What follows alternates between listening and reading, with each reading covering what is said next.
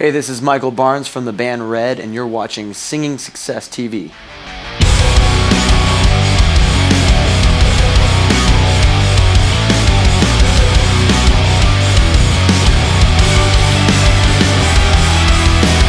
The new record, it's called Until We Have Faces, and it comes out February 1st. It's a, a record that kind of talks about identity. We really care about our fans and really diving into like what they've been going through and what they've been feeling. So a lot of the issues that they've been facing is just like finding out who they are as individuals. Is really just talking about like you know how um, we can't find our true identity until we've actually been it's been revealed to us. One of the songs, one of the first songs, which is kind of the core um, song of the record is called Faceless, which is our first single. The whole core and idea of the song is just to replace that emptiness that's inside you and to kind of find who you are as an individual. I'm not, I'm not myself. Feel like I'm someone else, falling and faceless. So hollow, hollow inside. A part of me is dead. Need you to live again. Can you replace this? I'm hollow, hollow and faceless. Being a full-time singer of a rock band, you know, we we uh, travel uh, about 300 days out of the year, and um, we do uh, probably on 300, at least 300 performances, I would say. It's very taxing. Um, a lot of it, uh, as far as like where singing success kind of comes into play, is I, have done several lessons actually with Brett.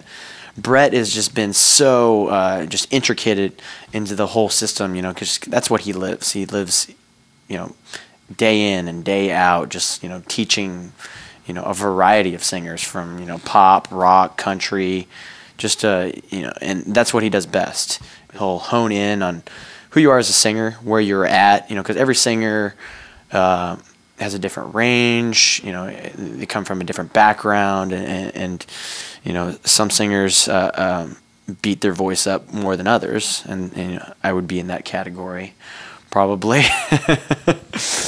but uh, that's the great thing about Brett is he, he's just he can you know I, I, take that CD that he has that he kind of gives you after um, after uh, training with him for an hour or two hours and um, it's, it's very invaluable. As far as like secrets and tips go uh, between studio and and, and uh, live performance, I mean, if I was going to give you a couple of nuggets to go home with, uh, would be drink lots and lots of water. The minute I wake up, I'm drinking water. The cool thing too with Singing Success is they have a lot of cool products too as well. Um, they have some teas that for vocalists they really just kind of open up your vocals. One of the other nuggets is just to eat really clean when you're on the road.